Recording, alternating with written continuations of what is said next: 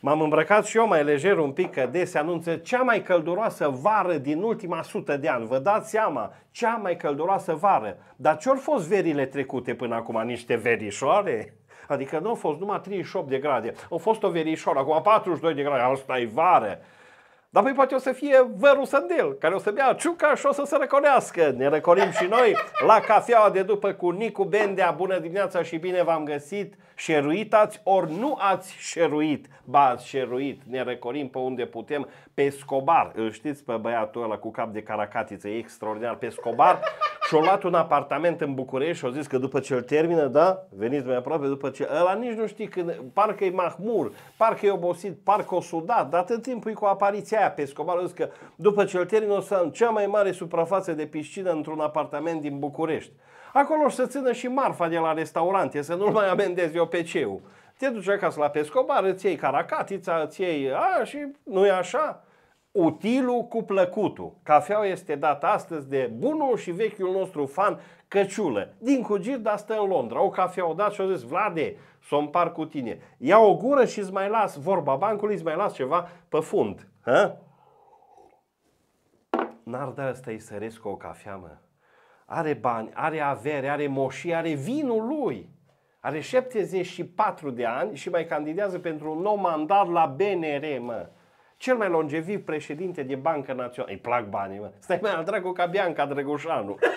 Domnul Iserescu, puneți-vă și niște țâțe.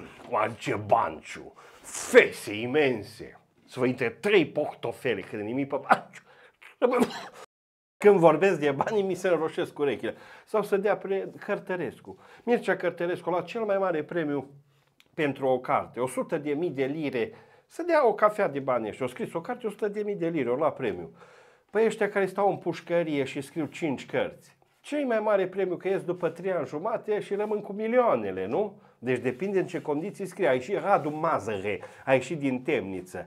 Mișto, nevastă s-a aștepta. Veselă, bucuroasă, umedă și însărcinată în luna a patra. Ceva nu pușcă, mă.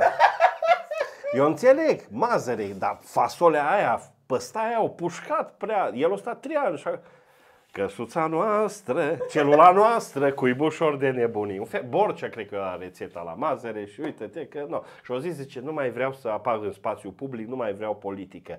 Radule, du-te acasă la soție, are cine să se ocupe de politică. Ați văzut-o pe doamnă? Cine e soție? Soția după ce îi naște. Direct îl naște pe la guvernator de Constanța. Faraon! Doamna Șoșoacă și-a făcut un clip cam kamikaze, s-a urcat pe un căluț și a zis că distruge cloca.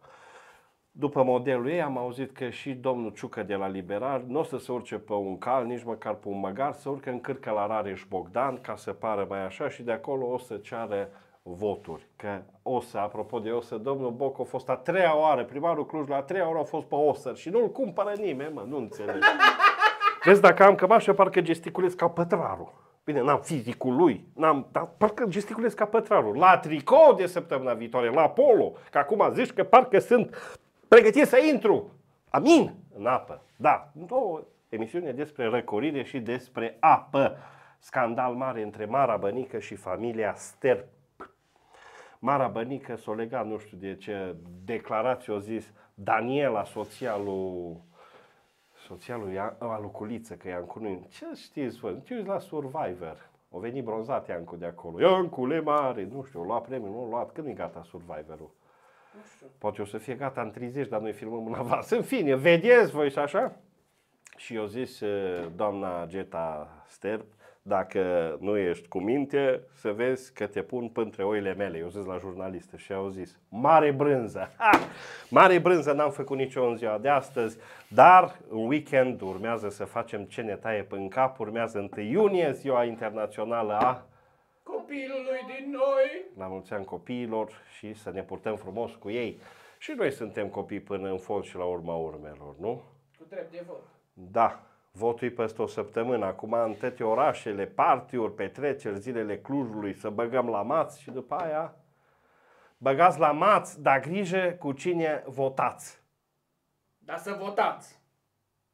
Am terminat așa ca, ca candidatul.